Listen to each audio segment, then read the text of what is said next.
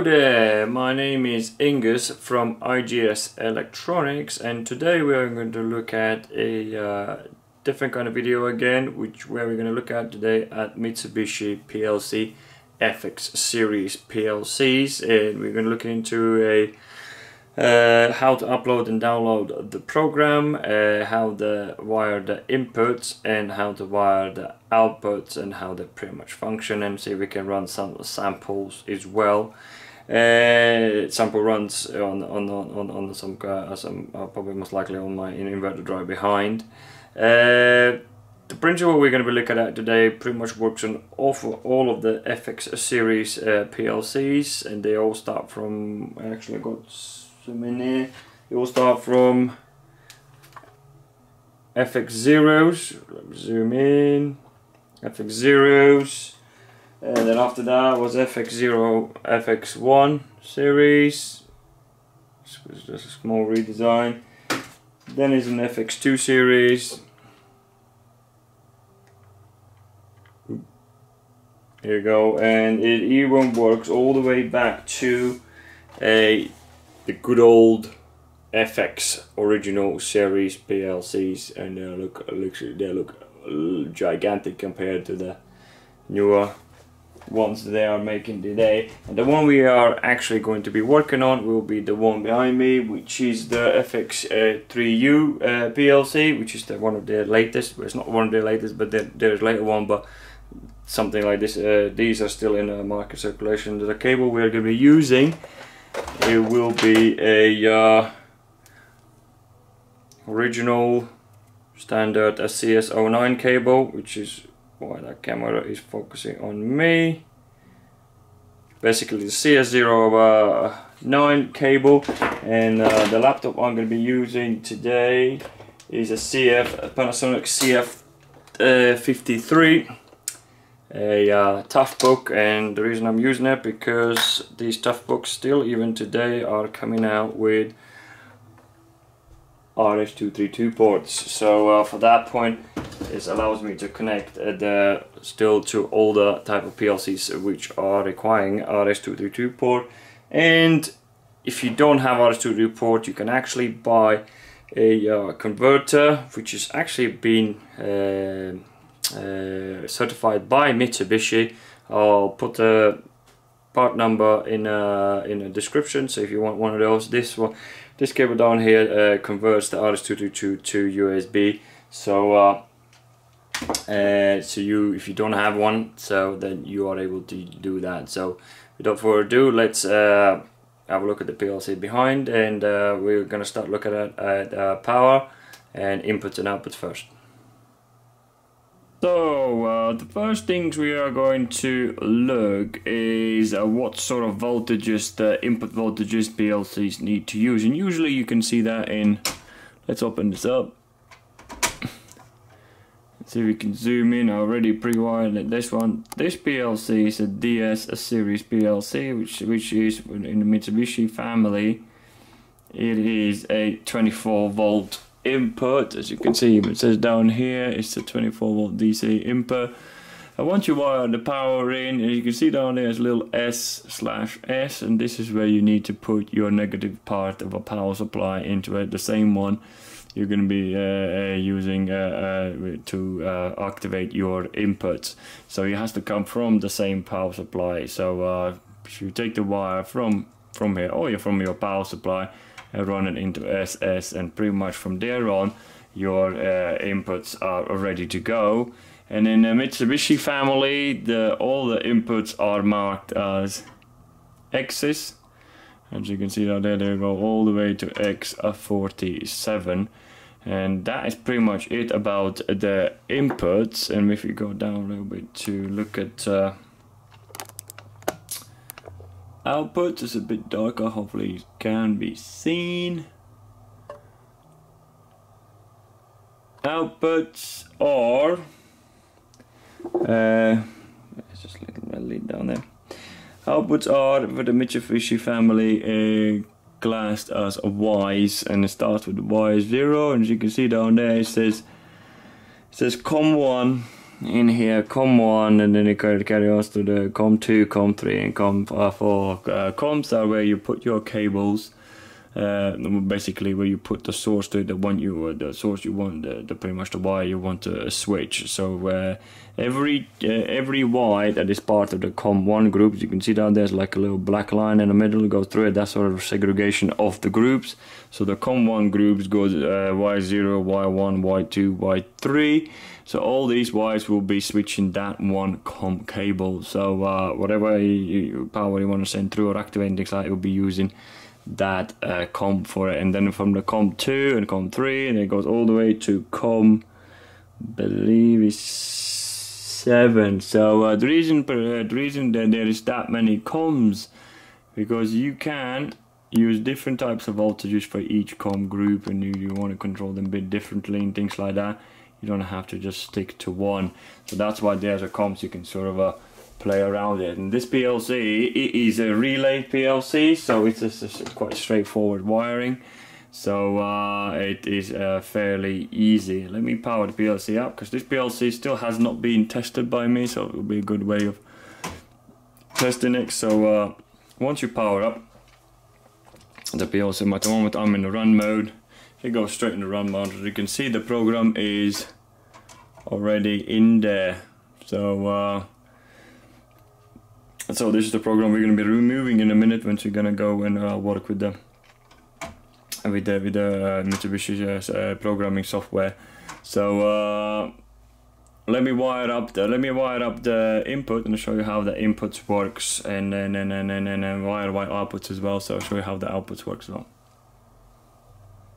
So to wire up the 24 volt signal is actually quite straightforward. All you need to do is send 24 volts uh, to the one of the inputs in in in in in here. So uh, I have used the so you basically you just need to make sure that the the, the negative part from the S uh, uh, very good SS down here it's the same power supply or same 24 volt power supply.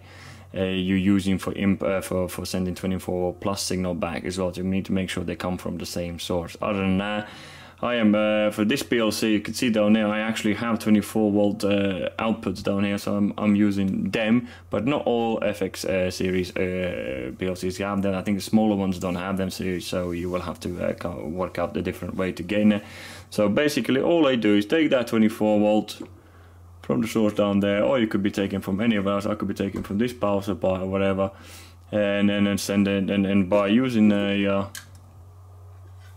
button switch sort of I by clicking that I, I basically activate and send the signal back to a uh, 0 1 x0 sorry x0 so that's how simple it is and it can be anything switch button uh, any any type of digital signal uh, that is it's it's switched uh, can be sent back to the PLC and that's how pretty much they work. They receive the information from uh, external uh, units, from uh, external systems. Uh, say it could be switch uh, sensor or or know, there, there's so many different things I can't even think of now. So that's all it is. It sends the information back to the inputs, and the inputs gets registered inside and. And if you have a program uh, in there, the output will be executed. The same way, and I I will show output in a minute and uh, uh, but first we're gonna make a, like a small little, little program. Quickly as I'll show you but the one end of the uh, cable goes in uh, in here. And uh, there's always that tricky this way. There's like a, a way over there you go, one in there. You don't have to click uh, on and off on the run button down there, but if you do, you just you can do that. By doing that, you can see all the outputs disappeared. And but when you program it, you can uh, machine if unless it's a live machine, you you would. But usually, uh, I don't really bother with it. So you just uh, every time it uploads, downloads the program, it, it turns the things on and off itself. So one end goes in there, another one goes in the laptop, an RS232 port, and I will actually show you both RS232 and the USB. So there's two types of programs you can use to upload and download the, the programs and do the programming in Mitsubishi PLC all the way to FX3 series. is a GX Developer or GX Works 2. And I believe GX Developer is roughly about 200 pound and GX Works 2 is roughly about 400 pounds. So the one we're going to be using today is a GX Developer. This is the most common one that I usually use and sometimes I use GX uh, Works 2 as well. But uh, both programs are sort of uh, work in tandem with each other. So if you created the program in gx developer it will work in it will as well work in gx works and then vice versa. So first things first we're going to do as you can see i don't have capture cards. I'm uh, not rich enough to do that. So uh, i just pretty much filmed the laptop so uh, I've got RS232 connected in there, and this is I like RS232 because it's fairly straightforward and, and no messing around with the USB. First things first, uh, if you want to download the program out of the PLC, you don't really need it. all you need to do is click read from uh, PLC. Once you do that, and it already knows this is FX uh, FX CPU. Don't need to change that. It usually knows automatically what is it reading it from. And uh, click OK and then it's going to ask you what you want to download. Just download that that and that and then execute. It's going to execute and it's pretty much going to read. As you can see it reads all the all the information that is in the PLC now is being copied into the into the laptop. Quite straightforward not much of a uh, programming knowledge required. And I by no means am uh, a pro into programming. I know enough to get me by to design my own machines and things like that, but by no means I am a pro into it. So I won't be doing any tutorials of how to make the programming, uh, how, how, programming works and things like that. So uh, I'll do the basics. That's all I do. And that's exactly so. This is pretty much what's inside the PLC a very very long program. A lot of M's are using using things like that. So what and if you want to save it so all you need to do is uh, click on that. Click on the little save icon up there. And let's say you type in blah blah blah whatever you want to name project name. And then and then no, not they never use the title and then just click Save this ASCII project does not exist. Do you wish to create a new one? Yeah, you want to create a new one. And it will uh, permanently will be saved in your GX developer uh, yeah, uh, folder. So uh, where there is, this is the one we. So if you open it again, Tubular cannot be operated for specific projects. The following causes are thought the specified project has already been opened in different applications. So it's pretty much already given me, so I can't do that. So that's how you pretty much save it. So once you do that, you pretty much uh, put it put, put, it away and then and, and, have a nice uh, backup for any of the machines you do. And but we, we, what we need to do in here, we need to uh, to download the program back into PLCs literally uh, write to PLC. But we're not going to do that. What we're going to do, we are going to a, a clear memory because we want everything pretty much uh, just uh, everything. And then we execute and get everything out of the PLC. That's it. And close. So now if you download the, I'll go online read from PLC, just say PLC parameters and things like that. There'll be nothing there. Cannot find any instruction in the program. So pretty much this is what's inside the PLC now. So uh, what I'm gonna do now is just create like a small uh, to show how the outputs work. So uh, I'm gonna to how in a software it works. You put a uh, contact. I put down X uh, zero. Oh not that one. I need to go into the uh, uh, edit and put yourself into write mode. So now you're allowed to write. So uh, you do that and then uh, I'm gonna put down x0 and let's say if you want to activate y0 uh, coil and y zero. Once you've done that, we convert, convert the program. He says he's happy and then you go online and then you uh, write. I will do only parameters if you have to go, I don't think it takes commands in there anyway. So parameters and main and things like that. Send it all in to a PLC as you can see down there it already knows what PLC it is because you already automatically read that so now as you can see it downloads uh, uploads that uploads that into the into the uh, PLC taking a bit of time for whatever reason. Come on. Here we go. So now that that's pretty much is how you uh, write to PLC and read from PLC is quite straightforward as I said I'm not by no means a professional uh, how things uh, the, into the deep, deep level of uh, programming I know enough to get me by to design uh, uh, simple basic things and things like that. But as I will be progressing, because uh, I need to learn quite a bit more, I will most likely will be sharing with you. So other than that, now that we send that in, let's have a look at it, how the PLC is working now.